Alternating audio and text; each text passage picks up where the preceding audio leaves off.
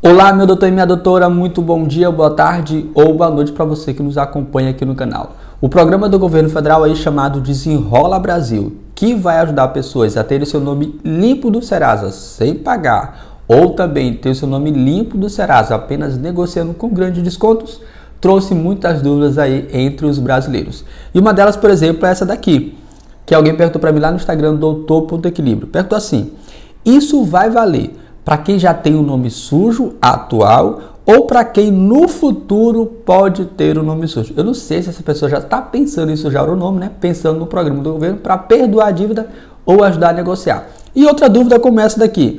Alguém sabe se o Bradesco vai participar? Então, nesse vídeo que eu quero fazer com você, eu quero esclarecer quatro dúvidas. A primeira, quais dívidas serão perdoadas ou negociadas? Porque aqui são duas coisas diferentes. Umas deverão ser perdoadas, ser extintas do SPC ou do Serasa e outras negociadas com desconto. Só pode dívida de 5 mil? Você vai entender que não, tá bom? Terceiro, quais empresas vão participar? E quarto, quem pode participar? Como, por exemplo, alguém perguntou aqui para mim assim, ó, doutor, boa tarde, doutor, não estou no SPC Serasa, mas tenho dívida no banco. Aí eu posso renegociar com juros menores? Então, são essas quatro dúvidas que nós iremos responder aqui para você. E se você tiver alguma outra, deixe por favor para mim nos comentários aí. Aí eu gravei o vídeo ontem mostrando para você que eu estava com duas dívidas negativadas no Serasa que eu não sabia, uma de 50 reais e uma de 18 reais, e também estava com minha pontuação de score de 450 pontos. E aí, você, como é que está a sua pontuação do score? Por favor, deixe para mim aí nos comentários. E se você achou alguma dívida que você não reconhecia, mas que hoje está no Serasa. Antes que eu entre aqui nesses quatro pontos, eu quero te dar uma informação bem importante. Eu escrevi esse livro chamado Põe suas finanças em ordem. E aí eu vou deixar o link aqui no Telegram, onde nós iremos começar a partir desse mês um estudo sobre esse livro aqui. São 10 capítulos bem curtinhos, olha só. Só tem aqui quantas páginas? Só tem 60, 60 e poucas páginas, né? São 60, cadê? 73 páginas, bem curtinho com atividades, e eu vou acompanhar você com esse livro aqui. Será tudo de maneira online. É só você entrar nesse grupo aqui do Telegram. Aqui nós falamos sobre dívidas, sobre renda extra, sobre como controlar cartão, sobre como controlar a sua renda, tá bom? Então não perca essa chance aí. Serão dois meses de acompanhamento com esse livro aqui até você organizar as suas finanças, certo? Mas então vamos lá para o nosso vídeo em questão. Quais dívidas serão perdoadas ou negociadas? Deixa eu aumentar um pouco aqui minha cadeira. Aqui está melhor. Quais dívidas serão perdoadas ou negociadas? Preste muita atenção nisso. A, a doutora aqui perguntou para mim, né? Doutor, essa, isso vai valer para quem já tem o um nome sujo atual ou para quem no futuro pode ter o um nome sujo? Só poderão ser perdoadas ou negociadas as dívidas que tiverem cadastradas lá no SPC Serasa ou correspondentes até o dia 31 de dezembro de 2022. Então, dívidas futuras, nem pensem em sujar o seu nome já pensando nesse programa, certo? E também, dívidas desse ano não vou contar. Só dívidas que foram cadastradas até essa data aqui, ok? 31 de dezembro de 2022. Aí você dá uma olhada lá no seu Serasa e consulta se tem alguma dívida lá e coloque nos comentários se você, se para você aparecer alguma dívida que você nem sequer reconhecia essa dívida, tá bom? Nesse vídeo aqui tem a instrução do que você pode fazer caso apareça alguma dívida que você não reconheça, tá bom? Então vamos lá. Aí eu vou aproveitar isso aqui e já vou responder essa parte bem aqui, tá bom? Quais dívidas poderão ser perdoadas, doutor? Preste muita atenção nisso. Dívidas de até 100 reais terão que ser excluídas, terão que ser excluídas do SPC ou Serasa, caso a empresa queira fazer parte do programa Desenrola Brasil. Não é que você vai negociar uma dívida 100 reais, ela tem que sair do Serasa. Doutor, você está inventando, isso é fake. Vamos ler lá a medida provisória de número 1176. Olha o que ela diz lá, medida provisória 1176. Artigo 8 poderão ser incluídas no, no Desenrola Brasil, que está um pouco enrolado ainda. Faixa 1, são duas faixas.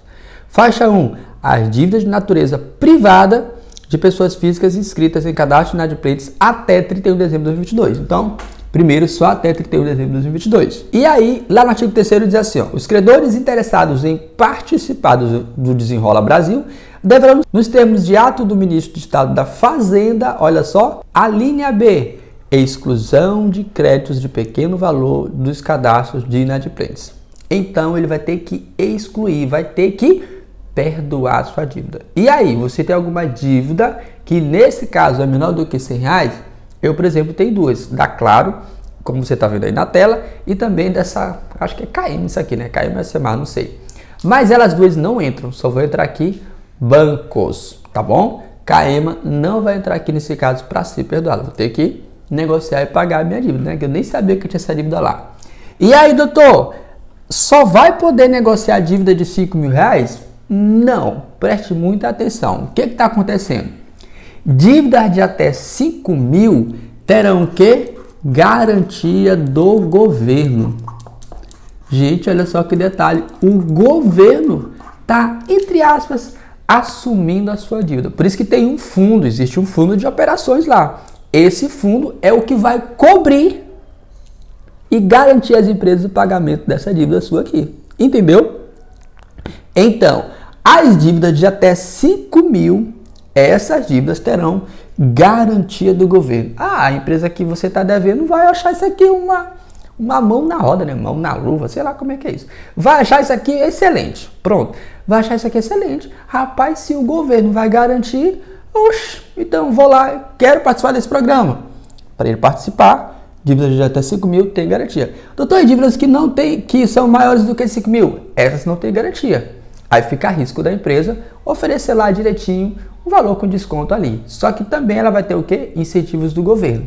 Agora, até 5 mil, garantia do governo. O governo só não pode fazer esse negócio aqui com aquele país lá que você sabe qual é, né? Imagina, aquele país está devendo o governo, mas ele começa com o nome do presidente lá, que você deve saber qual é, é quando a fruta está madura. É mais ou menos assim. Você sabe o que eu estou falando, né? Aí o que acontece? Imagina, o cara tá devendo, aí o Brasil fala assim, ó, oh, vim fazer um, um empréstimo aqui e eu vou garantir você, eu vou te dar a garantia se tu não pagar. não existe isso, né? Loucura, loucura. Então as empresas vão olhar assim, bom, eu viajei na maionese agora, né? Eu vou participar desse programa, porque quem vai garantir é o governo. Foi a mesma coisa que fizeram lá com o FGTS. O que, que aconteceu? O governo inventou, né, na, na no mandato passado, de fazer empréstimo até para quem estava negativado. Gente, algumas pessoas negativadas conseguiram. Só o que aconteceu esse ano, o levantamento da Caixa Econômica percebeu o quê? Que mais de 80% das pessoas que pegaram os empréstimos, eles não pagaram. E de onde saiu o fundo para cobrir essa inadimplência? Do FGTS. Boa parte dele saiu de onde? Do FGTS. Então a empresa falou assim: estou despreocupada, se ele não pagar, ok, o FGTS vai cobrir. A mesma coisa aqui. Se a pessoa não pagar, eu tenho um fundo que o governo me concedeu. Então, o Tesouro Nacional está concedendo isso, ok? Então, dívidas até 5 mil, garantia do governo. Dívidas acima de 5 mil, risco da empresa, tá bom? A empresa vai lá, dá o desconto que ela quiser dar, faz o leilão todo bonitinho ali, apresenta as propostas e tal. Segue ali com você. E aí, como é que vai ser? Essa, esse pagamento aqui vai poder ser de duas maneiras. Ou com seu recurso próprio,